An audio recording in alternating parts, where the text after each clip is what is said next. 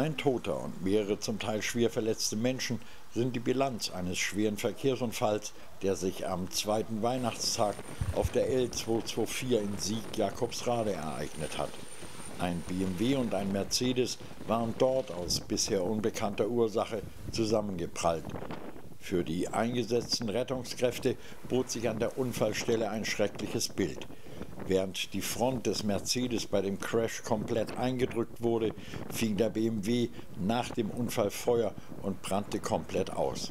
Für den Beifahrer gab es keine Rettung mehr, sagte Kai Bredenkamp von der Freiwilligen Feuerwehr Sieg. Als die erst ein, einrückenden äh, Einsatzkräfte angekommen sind, die, das waren die Kameraden der Feuerwehr Sieg, brannte ein äh, BMW in Vollbrand mit einer Person noch im Fahrzeug, die bereits Exitus war. Wir hatten mehrere Schwerstverletzte auf der Straße liegen. Ein weiterer Pkw ist wohl in den brennenden Wagen reingefahren. Ähm, wir haben als erstes äh, die Verletztenbetreuung übernommen und dann äh, das Fahrzeug äh, abgelöscht. Ähm, wir haben ein massives Aufgebot an Rettungsmitteln angefordert zur Verletztenbetreuung. Zwei Rettungshubschrauber sind hier, mehr Rettungswagen und der Notarzt aus Arnsburg, der hier die Leitung hat.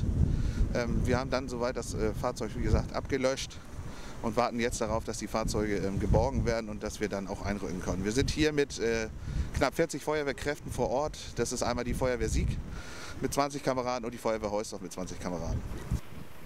Die Rettungsleitstelle hatte ein Großaufgebot von Rettungskräften mit mehreren Notärzten zum Unfallort geschickt. Auch zwei Rettungshubschrauber waren eingesetzt. Die L224 war während der Rettungsarbeiten für längere Zeit voll gesperrt. Wie es zu dem tödlichen Unfall kommen konnte, ist zurzeit noch unklar. Die Polizei nahm am Unfallort die Ermittlungen auf.